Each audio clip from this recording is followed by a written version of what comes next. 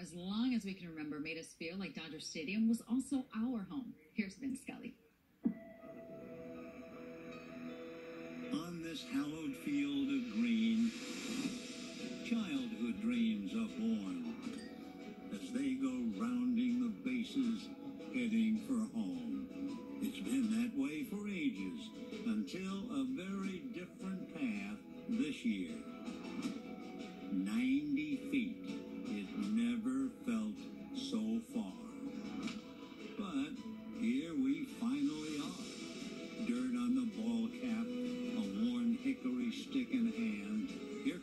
pitch, taking a swing.